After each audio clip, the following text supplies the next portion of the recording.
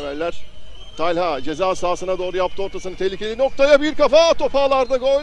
Ancak öncesinde bir faulü tespit etti. İlker Cihan'a yapılan hareket faul. Ağlara giden top gol değeri kazanmadı. Kafayla savunmasında. Muhammed Enes. Talha Mayhoş, Bilal Şefli'ye doğru Bilal. Offside yok bu arada. Bir tehlikeli olab- pozisyon olabilir ama kalesinden zamanında çıktı. Volkan Mert Korkmaz, Yusuf Atasoy o bölgede yerde sakatlık geçiriyor şu an kalkmış değil. Tehlikeli bir pozisyondu Kütahya adına. Karşılaşmanın ilk yarısında artık son anları oynuyoruz. Ve mücadelenin hakemi Doğu Yılmaz ilk yarıdaki son düdüğünü çaldı. Karşılaşmanın ilk yarısı Belediye Derince Spor 0. Belediye Kütahya Spor 0 değerli nokta televizyon izleyenleri. Yusuf kafayla indirdi. Bilal Şeflek Yusuf'a doğru. Offside yok. Son çizgi üstüne tehlikeli bir pozisyon. Orada geldi. Boşta kaldı top. Kale boş şu an Kütahya ekibi. Çok tehlikeli bir atak gelişecek. Bir vuruş dışarıya.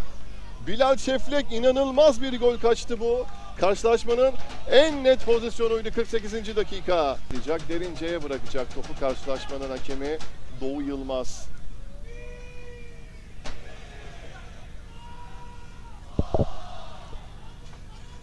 Bertu. Furkan Gedik. Furkan. Furkan top hala kendisinde. Furkan sol tarafa doğru. İlker yaptı ortasını bir kafa dışarıya. Kenar oyunlarını çok fazla yapmamız lazım. Çünkü defansın dengesini başka türlü dağıtma şansımız yok Erdemciğim. Eğer, eğer orada hata yaptırmak istiyorsak derince Kütahya'nın defansına kenar oyunlarını fazla yapmamız lazım. Kütahya onu yapıyor mesela.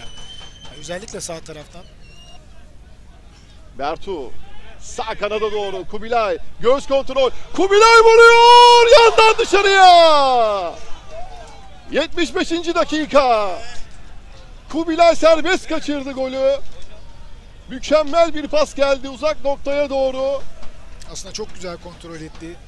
İyi de vurdu. Bertu'da top şimdi Bertu Bertu savunma arkasına doğru. Yine Kubilay koştu. Yine vurdu Kubilay. Yerden seken top kaleci Hasan Sürmeli'de. Bertu. iyi noktaya doğru geldi Bertu.